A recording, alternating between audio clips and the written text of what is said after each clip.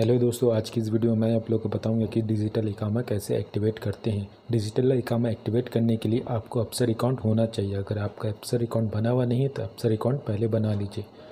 इस डिजिटल इकामा का फ़ायदा ये है कि अगर आप बाहर में आपका इकामा आप भूल गए हैं, घर में ही या रूम पर तो इस डिजिटल इकामा के ज़रिए आप पुलिस को भी दिखा सकते हैं या बैंक में आपको काम है तो बैंक में भी डिजिटल इकामा को दिखा सकते हैं।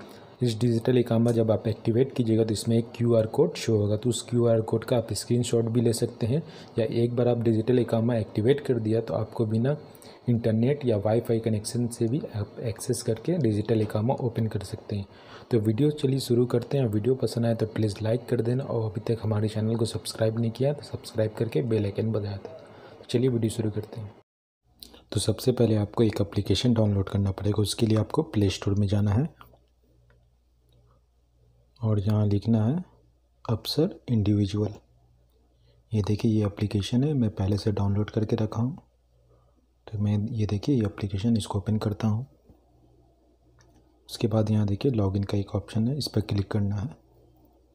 उसके बाद आपको यहाँ आईडी नंबर या यूज़र नेम डाल देना और ये इसके नीचे में पासवर्ड तो चलिए मैं अपना डाल देता हूँ आईडी नंबर और पासवर्ड ये देखिए, मैं अपना आईडी नंबर और पासवर्ड डालते हैं, उसके बाद यहाँ देखें, लॉगिन का एक ऑप्शन, इस पर क्लिक करना है।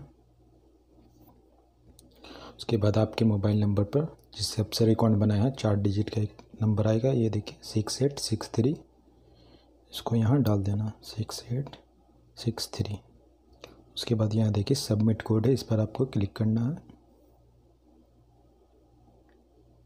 ये देखिए इस तरह से आपका इंटरफेस खोल के आएगा। उसके बाद यहाँ देखिए नीचे में एक है एलर्ट्स के बगल में माई सर्विस इस पर क्लिक करना है।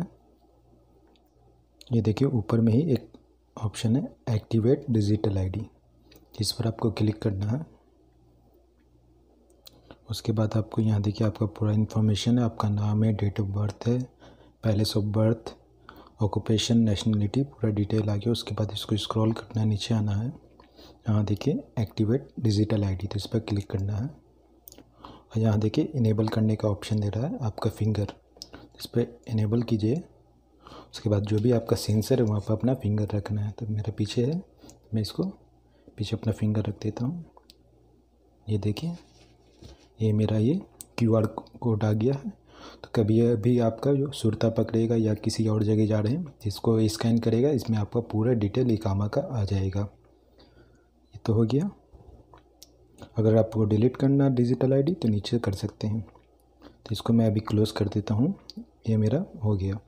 अभी एक और प्रॉब्लम है, किसी को अगर आपका डेटा नहीं है, मोबाइल डेटा नहीं है, इंटरनेट है, आप बाहर घूमने गए, और आपको पुलिस पकड़ लिया, आपके पास आईडी नहीं है तो ये बिना इंटरनेट कनेक्शन के भी ओपन होगा। ये देखिए, मैं अपना वाईफाई ऑफ़ ऑफ़ कर देता हूँ। उसके बाद आपको दिखाता हूँ। देखिए, फिर से इस एप्लीकेशन को ओपन किया। भी क्या करना है आपको? यहाँ सिर्फ़ देखिए एक ऑप्शन है एक्सेस डिजिटल आईडी इस पर आप क्लिक कीजिएगा। उसके बाद आपका जो फिंगर है, उस पर टच कर देना है। ये देखिए, ये ओपन होकर आ गया बिना वाईफाई का देखिए। वाईफाई कनेक्शन ऑफ़ है। तो इसी तरह से आप डिजिटल आईडी एक्टिवेट कर सकते हैं। अगर वीडियो पसंद आया तो प्लीज़ लाइक कीजिएगा और अपने दोस्तों के साथ शेयर कीजिएगा। थैंक यू तो फिर मिलते हैं अगली वीडियो में।